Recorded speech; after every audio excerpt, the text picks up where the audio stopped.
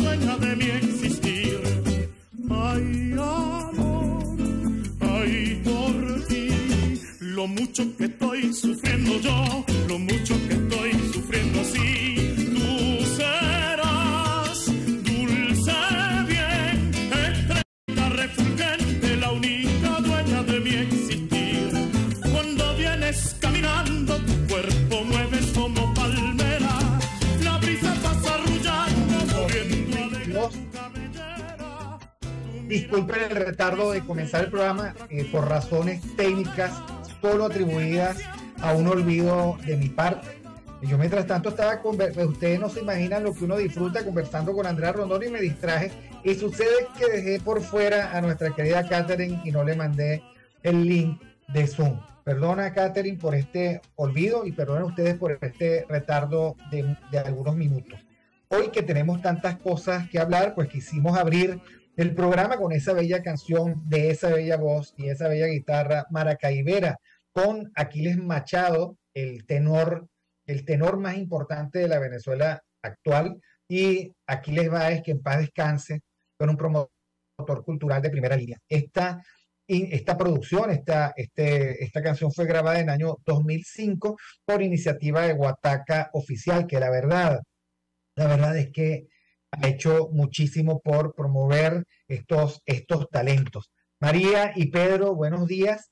Buenos días, Pedro. Disculpa que te haya dejado esperando. María Macei, ¿cómo estás? No es Jesús Sevillano, es Aquiles Machado. Jesús Sevillano es efectivamente un tenor maravilloso de la época del quinteto contrapunto, pero lamentablemente, la verdad, como tú dices, bueno, se volvió un poquito chavista. Y sucede que lo perdimos exactamente en el momento en que entró Chávez a el poder. Bueno, igual digamos que yo no le quito que, que Sevillano nos ha regalado un repertorio maravilloso de música venezolana y su voz es también maravillosa. Hoy los católicos celebran el, el santo de San José Piñatelli, sacerdote. Y estaba leyendo hoy su biografía y es importante. Creo que hay que buscar claves en este tipo de santos. Bueno, San José Piñatelli fue el restaurador de los jesuitas. Ustedes saben que la orden de San Ignacio de Loyola fue abolida en toda la tierra cristiana en 1773 por una gran conjura del rey francés y fue restaurada en 1811. Bueno, el, ah, no, fue restaurada en 1814 el sacerdote jesuita, ojo que la persecución fue brutal, brutal.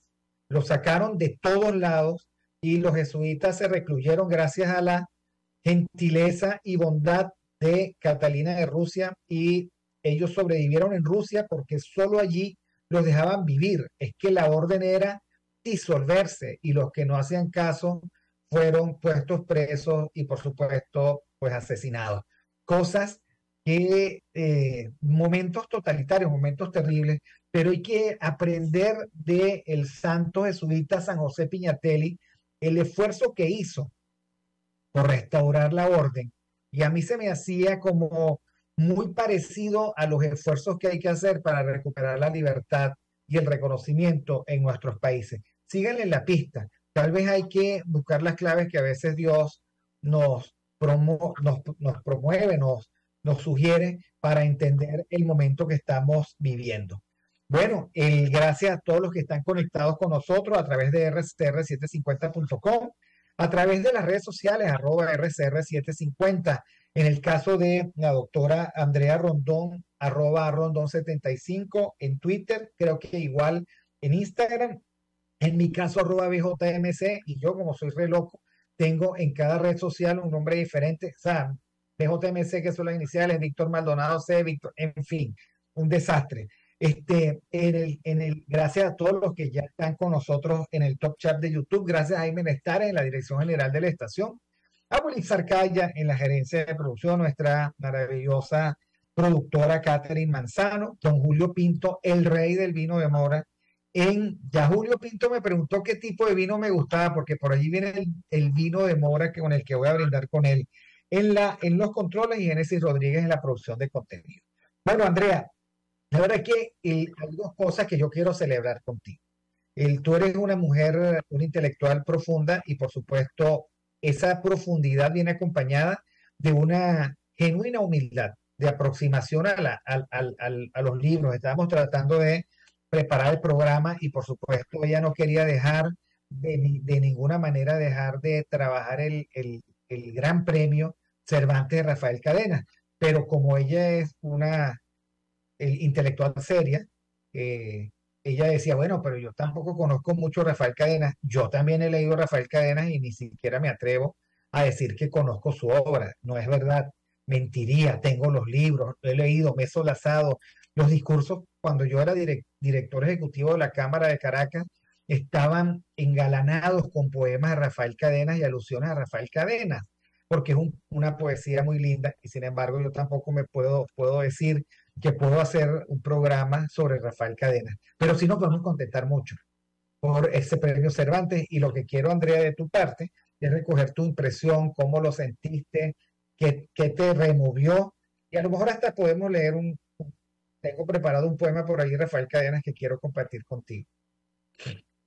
Sí, eh, creo que lo hemos hablado en otras oportunidades. Eh, la poesía no es para todos, eh, en principio. Pareciera ser que, tienes que tener cierta sensibilidad para aproximarte a la poesía y es por eso que miramos con mucho respeto obras como la de Rafael Cadenas y, otros muchos más.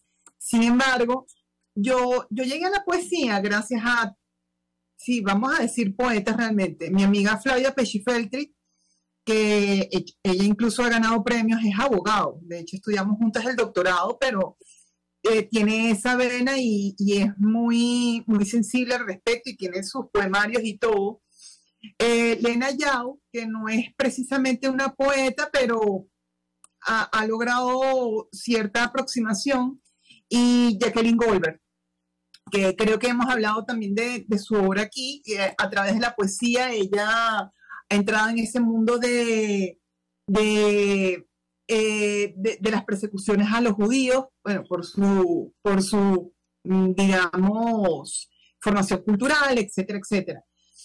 Con cadenas, también, ciertamente te lo comenté, eh, eh, era necesario no, no dejar pasar ese premio, primero porque es el primero venezolano en el que recae el premio Cervantes, segundo porque Cadenas ha podido ganar casi todos los premios en, literatura española posibles, ¿no? Él, él, decía con una humildad cuando recibió el premio, las primeras impresiones, que gracias, le tiene mucho que agradecer a España, porque los premios, además sabemos que todos estos premios son en metálico, gracias a Dios, porque los premios que ha recibido de España, porque también ha recibido el premio Reina Sofía, eh, le han permitido sobrevivir eh, porque sabemos que estamos en una economía muy limitada.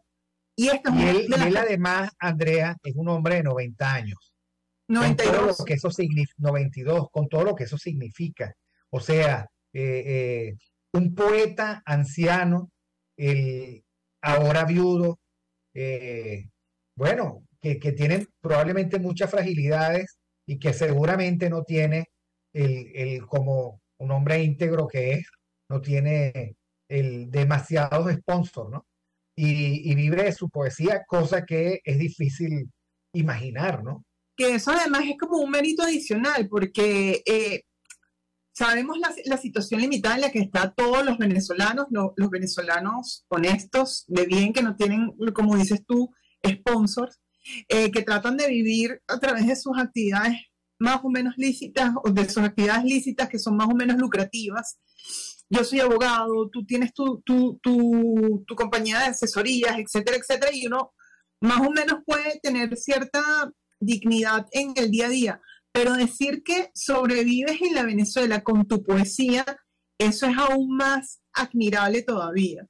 Eh, Ricardo Ramírez Requena, que hemos hablado de él, que es gerente de, la Poeteca, hizo una semblanza de, cadenas eh, que salió publicada en Gato Pardo, una revista mexicana, de, de, una plataforma mexicana de literatura muy importante, y en la semblanza destacaba cómo él, por casualidades de la vida, se hizo amigo de, cadenas, en, en, esas casualidades que se consiguieron en un autobús, eh, y, y, él no podía creer que tenía a cadenas sentado al lado.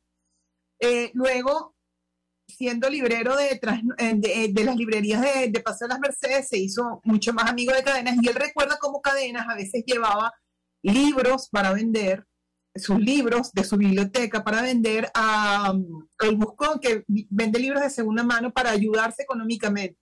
Eso, eh, y él nunca lo ha ocultado, y así como tampoco nunca ha ocultado eso, él tampoco ha ocultado los desmanes de este régimen.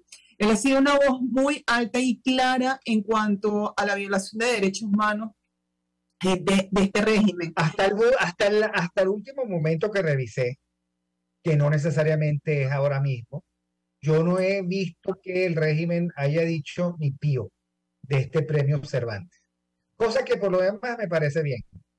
O sea, este es un premio desde él, por supuesto, en el que todos los venezolanos de bien nos regocijamos. Y mientras menos manchado esté por nadie, ni por el régimen, ni por ningún otro político, mientras sea más capital social, más patrimonio de todos, chavistas y no chavistas, este, a mí me luce muchísimo mejor y mucho más espiritualmente gratificante.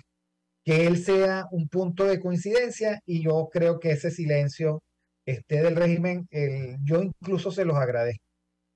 No, totalmente. Y mm, él además, eh, además de haber levantado su voz y lo seguirá haciendo, siendo tan honesto en sus declaraciones por la situación en la que se encuentran muchos venezolanos, en, sus en, sus primeras impresiones sobre este premio, en, su obra también es una forma de mostrar su postura política o, mostrarse muy crítico, porque hay otros que tras su obra se esconden o esconden sus verdaderas posiciones y dicen, no, es que yo no soy político y yo no tomo posturas, pero una cosa es que no milites en un partido político y eso es legítimo, militar o no, pero otra cosa es que no te preocupen los asuntos públicos, que como ciudadanos todos estamos en ese deber.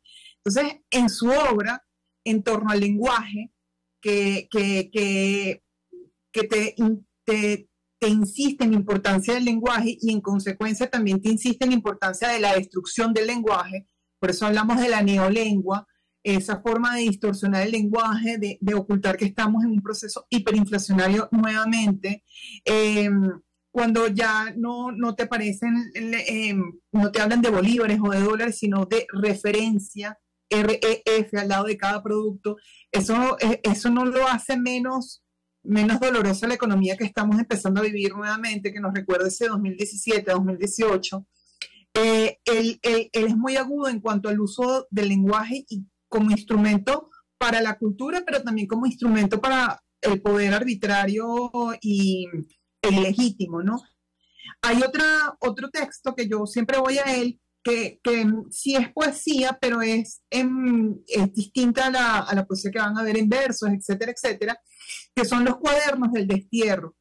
Él lo, él lo escribe estando en el destierro en Trinidad y Tobago porque él militaba en un partido comunista, él era comunista y él tiene que exiliarse. Y, y en ese exilio él se replantea muchas cosas, eh, la decepción que suponen las ideas comunistas, la izquierda, eh, la decepción, la incertidumbre, las palabras sobre exilio, él, ya en, en, sus 20, él ya lo sentía y uno como venezolano no puede sentirse más que identificado con esas palabras porque es un recorrido de su evolución emocional y psíquica eh, en todo ese proceso que termina al regresar a Caracas y en donde ya se ya encuentra una identidad, ya se, ya se reconoce porque está nuevamente en su país. Es, es una crónica escrita en forma poética sobre el desarraigo. Y todos nos podemos sentir perfectamente identificados con eso. Léanlo. Si, si a alguno de nosotros nos parece lejana la obra de Cadenas, eh, los cuadernos de, mm, del destierro son un perfecto ejemplo de eso eh, para acercarse y, y, uno se va a sentir completamente identificado a él. Eh, esos cuadernos terminan de una forma muy bonita, diciendo algo así como que regresé a Caracas y lo único que necesito es eh, un cuarto, una lámpara, un vaso de licor, un lecho y libros. ¿Cuántos no nos hemos sentido identificados con eso, con esa mínima necesidad que al fin y al cabo también nutre el alma, ¿no? Es así. Bueno, es que quería compartir contigo de un libro que se llama Interperie, de poesía de cadenas, ¿no? Que me lo hizo llegar reciente el amigo eh, Joaquín Ortega, eh, en el momento de la celebración de este premio Cervantes. Mira qué bello, ¿no? Tuve que disentir, como tú lo planteabas, ¿no? Tuve que disentir, ocultarme, desaparecer. Tuve que ser una disonancia. Tuve que dejarme ir a la deriva sin explicar. Tuve que esconder el rostro, volverme huidizo, callar, a callar, cuando acaso era útil una simple aclaración. Se me juzgaba con ley de hombre, pero nunca fui interrogado. Todo fue por ti y no te he visto. Entonces, efectivamente, él da un testimonio de algo, de la disidencia vital. El, de, y también da un testimonio, querida Andrea, del vivir y estar aquí.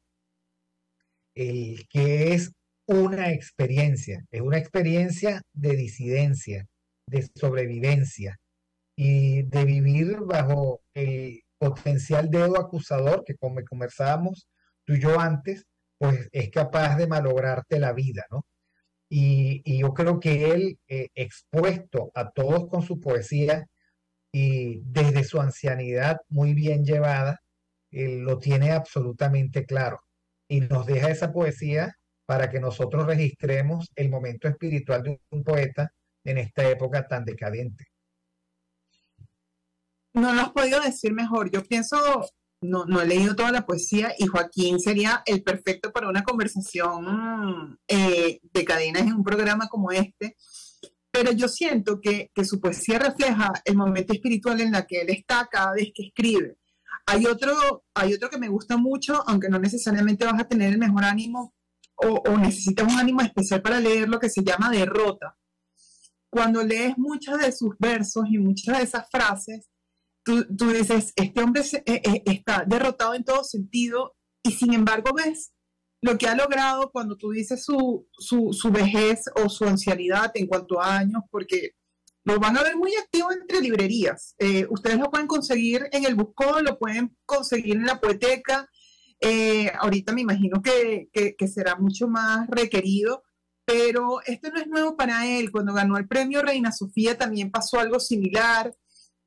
Digamos, él, eh, él es un, eh, muestra su ser y su sentir y al mismo tiempo es la mejor representación de la poesía venezolana, pero no se queda solamente en la poesía venezolana. El veredicto del jurado cuando habla que su obra es sumamente importante para, para la lengua española, que además ha demostrado el poder transformador de la palabra cuando ha sido llevado a niveles de excelencia.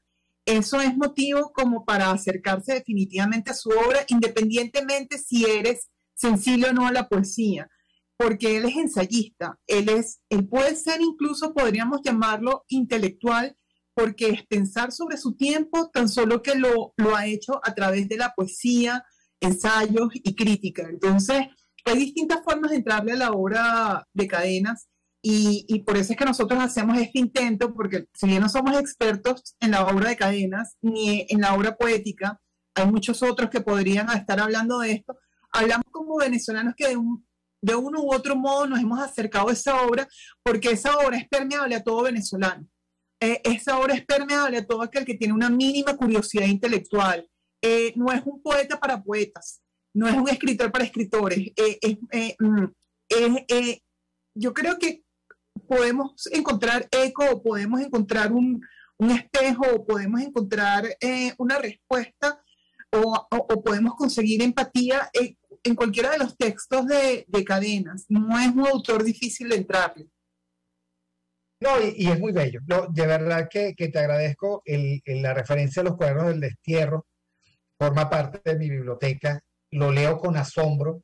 Lo curucutié muchas veces buscando la excelencia de la palabra para, para hacer acompañar el, el discursos empresariales y ese amor infatigable e imbatible que muchos tenemos por nuestro país y por nuestra ciudad, ¿no? Y antes de que cerremos esta parte, él quería comentarte que fui al centro de Caracas y que la verdad es que fui al centro, como dije, por razones de diligencias personales, pero estando en el centro, quiero compartir contigo que me atreví por ti, o sea, por tu recomendación, porque tú fuiste primero. Yo que soy así como muy muy ansioso, me, sufro a veces de ansiedad, este, y me acerqué al centro, fui hasta la estatua de Simón Bolívar, disfruté tomándome una foto, vi por fuera el Palacio Arzobispal, que conozco por dentro, pero que ahora parece que está remozado, vi también por fuera el Museo Sacro, allí alguna vez almorcé en el Café Sacro, pero parece que esto tú está, al día siguiente lo iban a, lo iban a reinaugurar. Y, me solacé con una ciudad que a pesar de la, del, de la decisión temeraria del régimen de hacerla ajena, es nuestra ciudad, eh, con sus lunares y también con sus puntos luminosos, con su gente que camina, con sus buhoneros, con sus tiendas de siempre, y bueno, digamos con su narración me daba mucha risa porque la persona que me acompañó me, me, decía eso que después comentamos. Y aquí hay un restaurante y lo expropiaron. Y aquí estaba esto, y recuerdas tú cuando Chávez lo quitó. Bueno, esas son las cicatrices de una ciudad que no olvida todo lo que ha tenido que sufrir, pero que aquí está. Aquí está la ciudad del centro, la de Petare, la de Katia, la del 23 de enero y también, por supuesto, la del sureste, que es tan parte de la ciudad como cualquier otra. Bueno, quería comentarte eso y agradecerte que me hayas dado un poquito de coraje para atreverme a eso. Eres como la pionera. Entonces, como tú eres la pionera, yo decía, ella pudo, yo también puedo. Este, muchísimas gracias, Andrea, por, por, por tus lunes de contacto con nosotros. Que tengas una buena semana. Y gracias a ti. Y que todo te resulte bien. Nosotros vamos al corte y ya regresamos con Alexander Campos. Saludos Alexander, cuídense, feliz semana.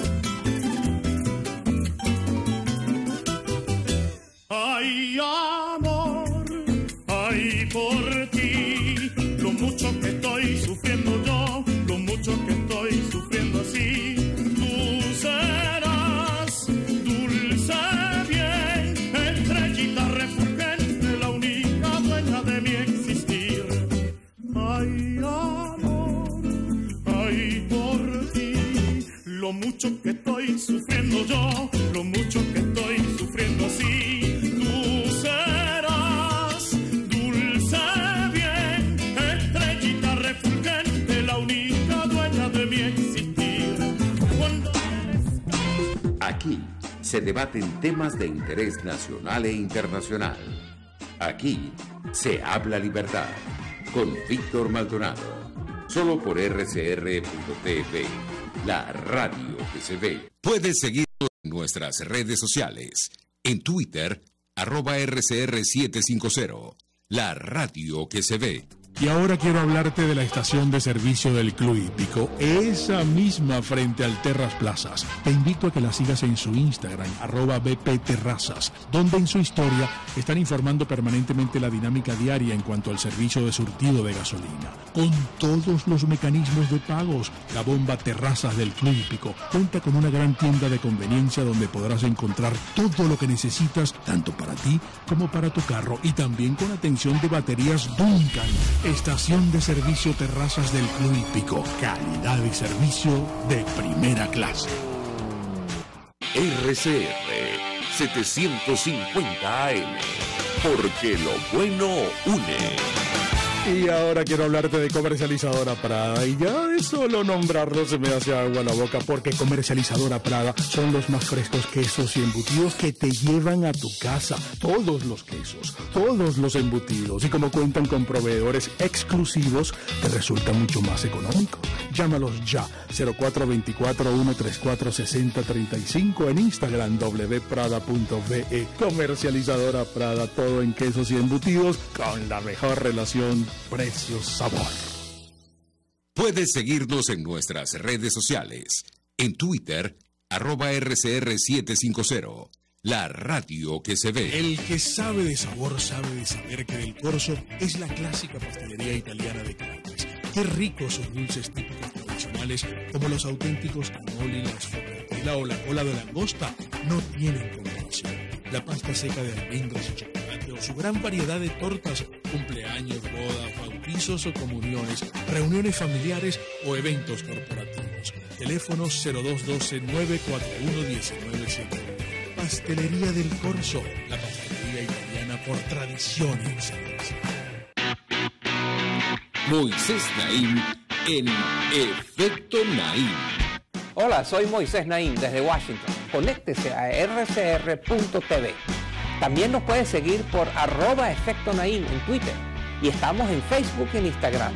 Y no olvide que puede disfrutar todos los contenidos del programa cuando usted quiera suscribiéndose a nuestro canal de YouTube. Nos vemos en la radio. Los miércoles y viernes a las 7 de la noche. Solo por RCR 750 AM. Ideas para alcanzar un país con libertad económica, democracia política y seguridad jurídica. Aquí se habla libertad con Víctor Maldonado. Solo por rcr.tv, la radio que se ve.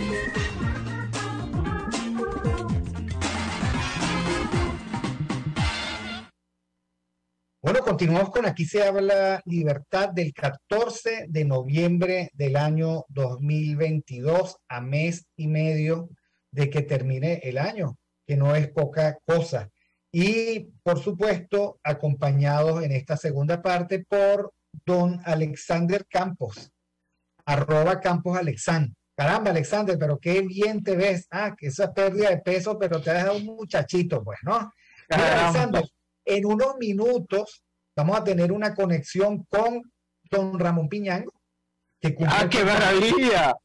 ¡Qué bueno! Entonces, el, el, le pedí a... Yo sabía que a ti te iba a encantar. Tú madrugaste con la felicitación. Yo sabía que, que te iba a encantar y que, bueno, conversar con él desde su mirada del país que tú compartes y la tienes bien fresca, la de él, este, desde esos 80 años llenos de, de tanta experiencia y de tanto compromiso, ¿no? Así es, qué bueno, qué buena iniciativa. Maravillosa, porque 80 años, eh, en- especialmente en, es- en esta Venezuela, no se cumplen eh, mucho, ¿no?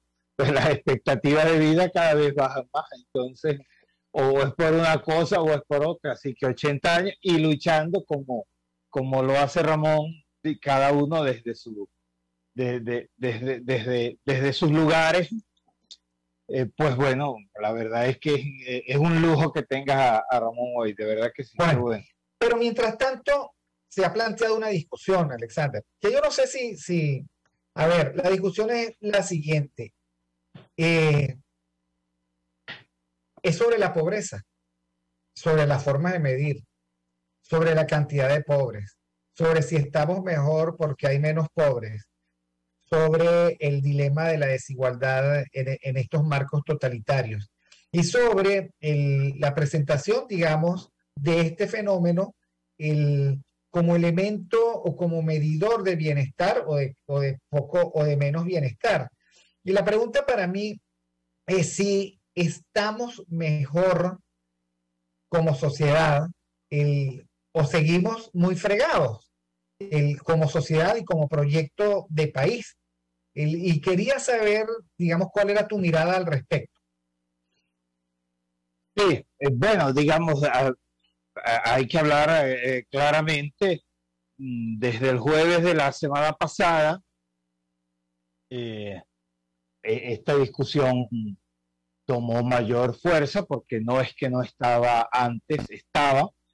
Pero bueno, la, la, la organización que se encarga, digamos, que se venía encargando, dada la ausencia de los datos del, del régimen sobre nuestra situación, eh, eh, esa, eh, digamos, ese silencio fue roto de, de, verdad que además satisfactoriamente por la encuesta en COVID, una encuesta patrocinada al inicio por eh, tres grandes universidades del país, la católica, la central, liderando la católica, pero acompañados muy de cerca por la central y por eh, la Universidad Simón Bolívar, poco a poco fue quedando, la verdad se ha dicho, en manos, en manos de, la, de, la, de la Universidad Católica, pero bueno, siempre fue, siempre fue, fue referencia y ha sido referencia para darnos la magnitud, digamos, de, de nuestra tragedia. Eh, eh, tragedia que todos, que todos vivimos, pero que eh, necesitábamos contabilizar, necesitábamos darle densidad, densidad numérica que nos permitiera de alguna manera proyectar, que nos permitiera de alguna manera eh, tener conciencia del alcance de lo que nos esperaba en el futuro, de lo que nos espera en el futuro, dada esa gran tragedia. Y eh, la eh, encuesta en COVID definitivamente fue una referencia mundial a la que, y es todavía una referencia mundial a la que a la que todas las organizaciones internacionales y nacionales se refieren a la hora de, de digamos, de, tener, de tener alguna base para pensar qué, estaba sucediendo, qué está sucediendo en el país. Desde el año pasado, cuando ellos salieron con eh, eh, eh, una cifra del 96% de pobreza en el país, que inmediatamente tuvieron que, eh, tuvieron que corregir y colocar en 94.1, 94.5. Eh, se le vienen haciendo, se le viene, se le vienen haciendo algunos cuestionamientos metodológicos, metodológicos, em, especialmente el alcance poblacional eh, y, y que a mi modo de ver, eh, este año, digamos, se refleja. Se refleja eh, eh, porque, digamos, los que trabajamos con medición de esto, los que trabajamos con, con data, sabemos que es imposible que, que, suceda una reducción en un año del 15% pues, de, de, de, de la pobreza. Eso es eh, digamos, eh, imposible. Todos sabíamos. Eso no lo hizo ni Lula. No, lo hizo ni Lula. en la presidencia de Brasil con el potencial industrial y manufacturero y empresarial de Brasil. Bueno, pero, millones de empresas. Pero precisamente por Lula no era, no era posible que eso sucediese. Perdóname que te corrige. Es decir, a pesar de tener aquello, precisamente por Lula no era, no era, no era entonces, bueno, yo veo que está Ramón ahí, yo solamente te, quiero, quiero, quiero apuntar a que, digamos, una cosa, eh, eh, eh, el sentido común es muy claro, el sentido común es muy claro, todos sabemos los, digamos, los datos, sabemos que algo está pasando allí y, y lo que a mí, lo que, lo que yo pido, lo que yo pido a, digamos, al mundo intelectual eh, venezolano es que, digamos, mm, por seguir una corriente política, no se deje de lado eh, una buena práctica científica, académica, que venía, venía, eh, venía desarrollándose y que mm, ojalá no, no, no, no esté sufriendo por algún tipo de lineamiento político, sino que, eh, digamos, esté eh, padeciendo en este momento eh, algunos embates metodológicos fundamentalmente. ojalá se corrija, ojalá se corrija. Yo creo que hay tiempo, hay tiempo porque, digamos, la, la, la solvencia académica de, de, de, la gente que está ahí de fondo y de las organizaciones que está de fondo y además por el bien del país no podemos dejar que la única institución que tenía capacidad de hacer una medición como esta eh, eh, no se deje eh, influenciar. Pero ya estamos con el profesor Ramón Piñango, a quien estamos, digamos, celebrando su vida. Hoy el profesor Piñango cumple sus primeros 80 años y me da muchísima satisfacción y muchísima alegría de verdad el tenerlo con nosotros y además verlo. Yo no tenía la expectativa de verlo, sino de escucharlo. Y mira qué bien, nos estamos viendo y verlo además en la ratificación de que está en, en un momento espectacular. Bienvenido, profesor Piñango, feliz cumpleaños. Estamos aquí, Alexander y yo, muy contentos de verlo y de celebrar en estos 20 minutos su vida. Pues, eh, este, Ramón, eh, me uno a las felicitaciones de Víctor.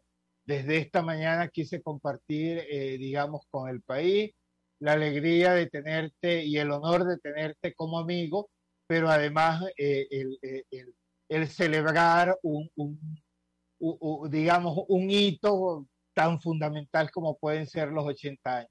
Lamentablemente creo que hay, que, y, esto hay que decirlo, las circunstancias del país eh, eh, no nos permiten celebrarlo como quisiéramos, que, se, que debería ser además eh, este, con la, academia a, a, tu lado y no solamente la academia, sino el mundo empresarial, el mundo, el mundo intelectual, pero sabemos que vendrán días en el que, en el que podamos hacer. No sé si el profesor Piñango, no le oímos, profesor no le oímos. Este, debe haber algún, algún tema con su micrófono, por favor, para, para poder este, iniciar la conversación. ¿Y ahora? Ahora sí, profesor. Somos todos oídos. Muchísimas gracias a ustedes por la invitación y por tanta generosidad. Oye, eh, eh, en los 80, los 80 te, te, te, están haciendo Ah, muy preciso, caramba. Muy lacónico. No, lo que queremos es cómo se mira este país desde esa larga y vasta experiencia de vida de un profesor, de un educador como Ramón Piñán. ¿Cómo está viendo el país? Fíjate bien. Un brevísimo repaso de lo que yo he vivido desde el punto de vista político. O sea, nací en el 42. Yo comencé a tener conciencia política, por así decirlo, o, conciencia de los acontecimientos que iban ocurriendo hacia el comienzo de los 50. Recuerdo como niño el golpe de Estado contra, contra Gallegos, muy lejano. Más, con más claridad, el asesinato de Delgado Charlot.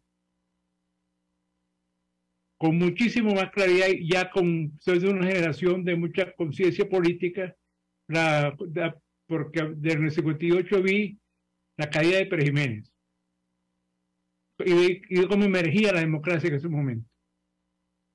He visto de a partir del 58 un gran desarrollo del país con todos sus efectos.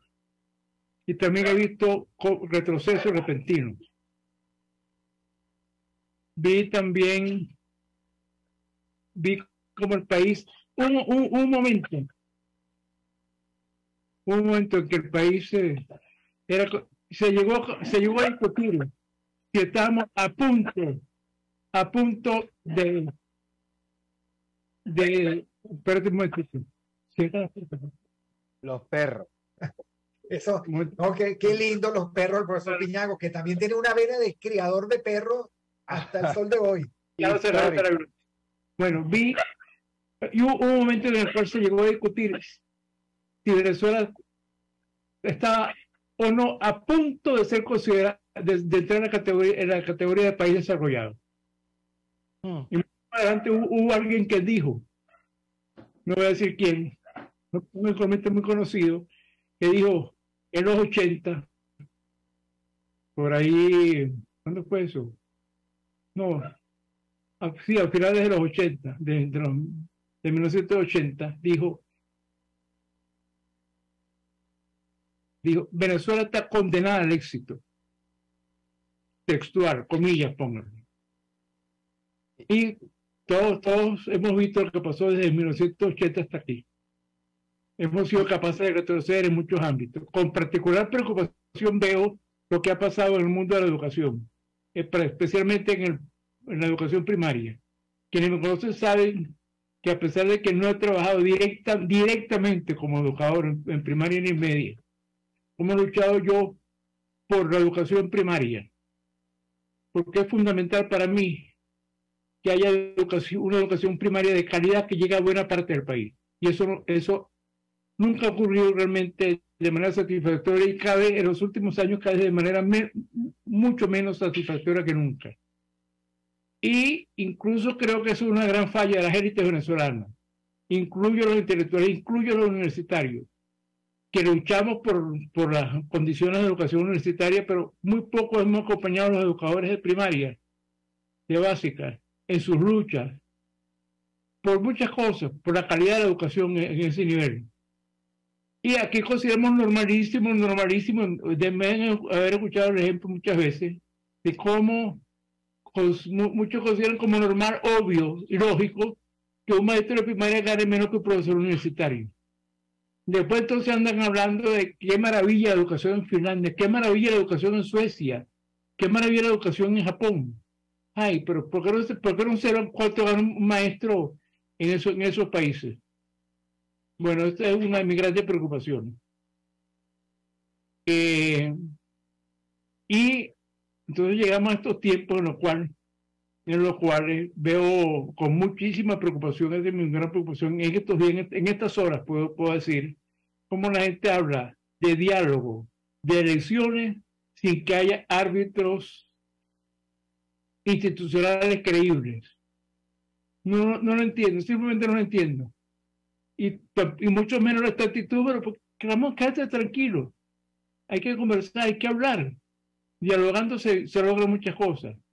Pero como cuáles, como, por ejemplo, se va a lograr, ojalá se logre, ojalá, ojalá, realmente ruego a Dios que yo esté totalmente equivocado y que mediante el diálogo en México en París, donde sea, se logre que, por ejemplo, haya un tribunal supremo en el cual buena parte de los, de los venezolanos creamos porque es creíble, porque es confiable en sus decisiones en uno u otro sentido, o una Asamblea Nacional, o un, o un Consejo Nacional Electoral. Pero no existe, simplemente eso no existe. Pero me sorprende y, le digo con toda sinceridad que espero estar, me deseo estar equivocado. Pero no veo qué manera se puede lograr eso, así nomás, dialogar, no, ir a elecciones con gran entusiasmo. vamos a elecciones. Todo el mundo cantando elecciones, elecciones con, con música bellísima, etcétera, etcétera. ¿Para qué? Van a ser confiables esas elecciones. Si van a ser confiables los resultados electorales y, y los árbitros que la regirían, el CNE, obviamente, realmente estoy tremendamente equivocado, pero creo, pero creo lamentablemente que no lo estoy, como algunos, como algunos otros cuantos venezolanos creen. Mira, Ramón, eh, eh, es maravilloso eh, participar, compartir tu experiencia histórica, ¿no? Son 80 años y, y puedo decir que la, tu pasión por el país está intacta, a veces difícil de seguir, por cierto, porque es incansable. pero, pero eh, eh, si yo tuviese que, eh, digamos, definirte, diría que la palabra que, te que, te define es integridad. Es decir, yo, yo por lo menos he tenido el privilegio de escucharte en los más diversos escenarios políticos, económicos y sociales y decir y decirle a cada quien lo que hay que decirle según eh, tú consideras en ese momento, sin miedo alguno, sin ningún interés de por medio, sino el país. Creo que eh, eh, eso te lo debe el país, te lo debe el país, especialmente, especialmente hoy. Y, creo que te respetan por eso. Es decir, en, en cualquier espacio debes decir, oh, siento que te veo siempre con la necesidad de decir lo que, lo, eh, lo, que debas decir sin ningún tipo de reparo. Ahora, yo quería hacerte una pregunta. Es decir, eh, eh, ¿cuáles han sido tus referencias? Tus referencias a lo largo de estos 80 años, tus referencias políticas e intelectuales y morales que tú puedas decir que te han acompañado y que te han marcado y que, y, que para, para el venezolano de hoy sencillamente son ineludibles desde tu experiencia personal. Mira, yo, como ustedes saben, estudio sociología en la Universidad Católica. Perdón. Soy egresado de la segunda corte de la Escuela de Ciencias Sociales de la Católica. Tenemos una promoción de apenas 11 personas. Después la escuela ha crecido muchísimo más. eh, fui discípulo de Aristides Calvani mi aquella lejanísima casi adolescencia me impactó mucho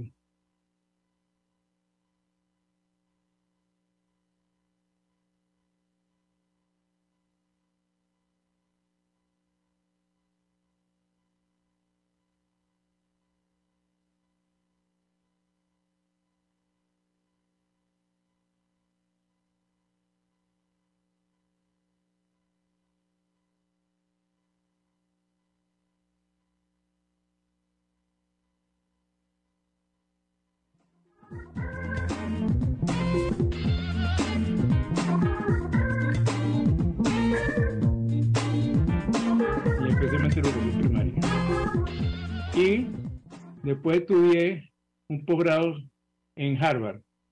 Y en Harvard me interesé muchísimo en filosofía de la ciencia. Especialmente, y mi tesis de, doctorado trató sobre distintas maneras de entender el crecimiento del conocimiento científico, distintas concepciones que las hay, que las hubo y que competían entre sí por explicar cómo crecía el conocimiento científico y qué impacto podían tener esas distintas concepciones en, en la concepción, en ese caso, de, lo que era una, sociedad. Hubo, un norteamericano que planteó en aquellos tiempos la, la, noción de sociedades experimentales. Yo me planteé la, pregunta él, basándome en su planteamiento, me hice la pregunta, ¿cómo lo sería ¿Cómo sería un sistema, un sistema de educación? Siguiendo las distintas concepciones del desarrollo, del desarrollo científico. Entonces, en esa, eso es una, es una línea de trabajo que nunca he abandonado. Ver un mismo problema de, de distintos puntos de vista, de, de distintas aristas, de, siguiendo distintos planteamientos, ver, ok, ¿cómo uso el punto de vista A, cómo lo usa el punto de vista B, cómo lo usa el punto de vista Z, qué conclusiones se pueden sacar de esos distintos puntos de vista, cuáles me parecen más razonables, cuáles me parecen más viables. Y en este momento, para mí, en un entorno tan complejo en el cual estamos viendo en este país y en el mundo, pero vamos a pensar en este país sobre todo, este, fíjense que me llena de admiración, y esto es irónico, por supuesto, la gente que tiene las, las ideas claritas sobre lo que hay que hacer. Yo no tengo las ideas claritas lo que creo que hay que conversar mucho, hablar mucho y plantear con honestidad lo que yo creo que hay que hacer y por qué creo que hay que hacer X o Z. Y, y conversarlo. Y conversarlo. Y, y dialogar, conversar, conversar. Pero, pero tampoco me puedo paralizar pensando nada más y conversando. Si creo que es esto lo que debemos hacer, si queremos, si queremos que un grupo de personas que compartimos un planteamiento, ok, vamos a darle pues Vamos a darle. No, se trata de paralizarlo para contemplar académicamente el programa. No, es tiempo de contemplación académica, es tiempo de la acción, de, hacer algo y pensar en la viabilidad de las cosas. Y creo que es un tiempo que exige, que exige tres condiciones fundamentales. Tener conocimiento de las cosas, información, datos, eh, revisar la experiencia, para no repetir errores. Y mucha imaginación. Yo creo que el gran reto aquí es de la imaginación. Pero fíjense, planteo los tres al mismo tiempo. Porque el simple conocimiento me puede llevar a algo académico que no es viable. La simple experiencia me puede que me puede llevar al pasado, pero no, no me sirve para orientarme en el futuro, si, si me, me, quedo nada más contemplando el pasado. Y la, y la imaginación, simplemente sola, sola, puede ser, me puede conducir a algo simplemente que es irrealizable, inviable. Entonces, esto, este planteamiento me conduce también a un planteamiento fundamental, que es en el, cual yo creo y en el cual insisto una otra vez, que es el trabajo en equipo. Y no el liderazgo, yo no creo en líderes solos, aislados, creo en un grupo que lidere. Pero para que un grupo sirva para liderar y aporte al líder, tiene que ser un grupo donde, donde, donde hay interacción de, de distintos puntos de vista porque la, ¿qué, ¿cuál es el problema del liderazgo en el mundo político y en el mundo de la sociedad civil también? Lo, he visto muchas veces en empresas o en, o en, o en las mismas ONG. rodearse de personas que piensan como yo, que no son capaces de decir si es que yo estoy dirigiendo una organización, una empresa, por ejemplo, mira Ramón, creo que estás equivocado.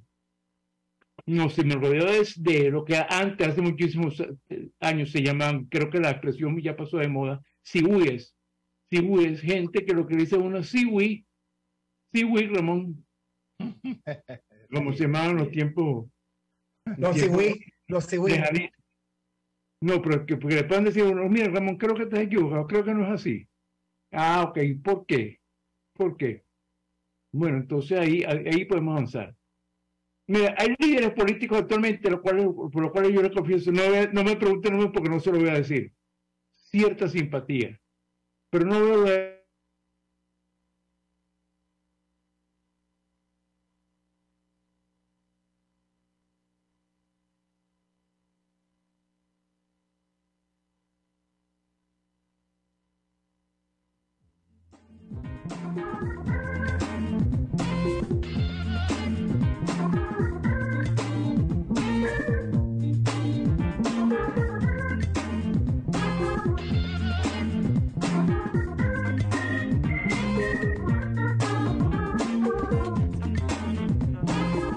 Entonces, ¿qué? Entonces la, organización, el partido, lo que sea que lideraba, se queda nada.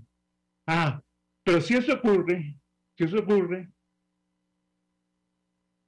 y, a esa persona que estaba liderando ha puesto a valer el grupo con el cual trabajaba, ah, hizo una gran labor, porque entonces su acción no decae. Puede, y puede seguir trabajando el grupo también o hasta mejor que cuando él o ella estaba allí. Entonces, mi, mi gran preocupación, que a veces me llena de tristeza, para ser sincero, es que no veo los equipos de trabajo. Yo no veo, veo personas que hablan, que hablan muy bien, que pueden lucirse muy bien en una entrevista cualquiera, pero bueno, ¿quién está detrás de ti? ¿Quién trabaja contigo? Y uno se queda pensando cuando ve que es muy pobre el desarrollo de un equipo de trabajo. para mí liderar, liderar ante todo poner a, hablar un grupo. Es fundamental ser, coherente. Pero la coherencia se logra en buena parte si yo trabajo en equipo. Bueno, eso sería, eso sería mi, en, una, una píldora rápida, muy rápidamente decir mis preocupaciones y mis obsesiones, pueden, pueden llamar ustedes en estos, en estos momentos. Bueno, muchísimas gracias, profesor Piñango, Muchas gracias. 20 minutos de su día de cumpleaños que ha compartido con nosotros y a través de nosotros con nuestros oyentes. Yo le deseo y estoy seguro que Alexander también lo mejor, que siga con esa lucidez y que siga con sus preocupaciones. Y bueno, enhorabuena porque sí he visto que está trabajando muy activamente temas de liderazgo. Lo he visto a través de Alexander Campos y lo que coloca usted mismo en sus redes sociales. Mis mejores deseos, profesor, un fuerte abrazo. Espero que le, que le piquen la torta más rica del mundo y espero verlo pronto y así poder seguir conversando con usted. Muchas gracias a, ambos. Hasta luego. Saludos. Y bueno, el, celebrando pues esta larga vida y lúcida vida del profesor Piñango, les agradecemos a todos el habernos acompañado. Gracias a Jaime Nestares en la dirección general de la estación a Willy Sarcaya en la gerencia de producción, Catherine Manzano en la producción, Julio Pinto en los controles y Genesis Rodríguez en la producción de contenido. Saludos a todos.